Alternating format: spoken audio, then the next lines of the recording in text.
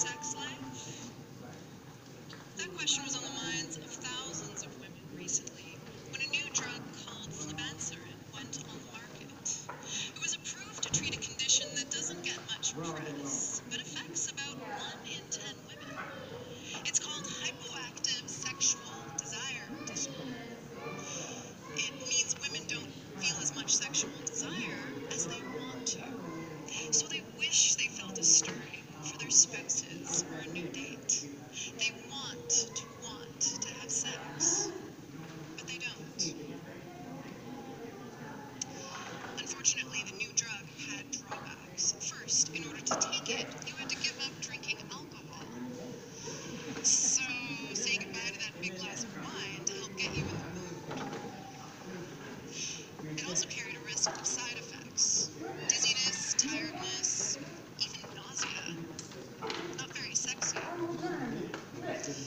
There was, and on It top is. of all They are that, have the to shut off. only Nothing I can do about it. Down It below. guaranteed just one Yeah. more They're all sexually automatically shut. They automatically shut off at four forty-five. month over placebo. Yep. Still, women ask their doctors for it.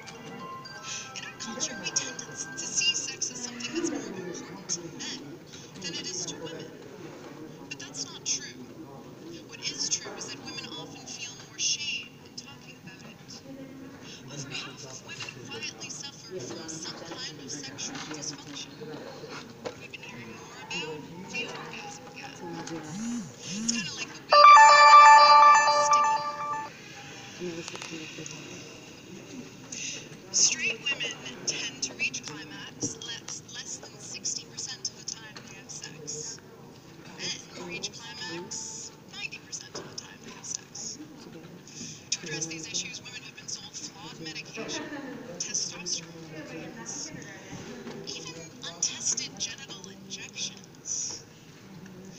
The thing is, female sexuality can't be fixed with a pill. That's because it's not broken.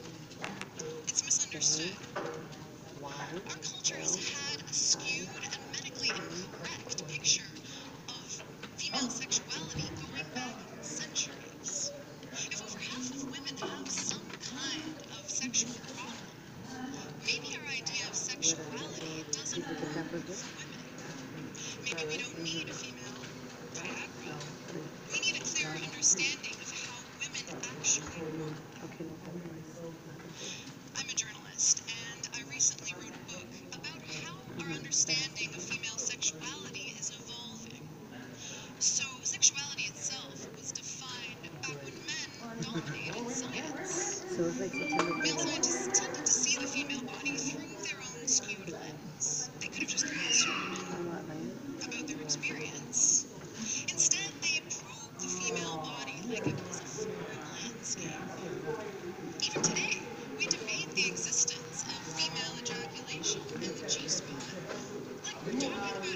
aliens or UFOs. Are they really out there? All this goes double for LGBTQI women's sexuality, which has been hated and erased in specific ways. Ignorance about the female body goes back centuries. It goes back to the beginning of modern medicine. Cast your mind back to the 16th century, a time of scientific revolution in Europe.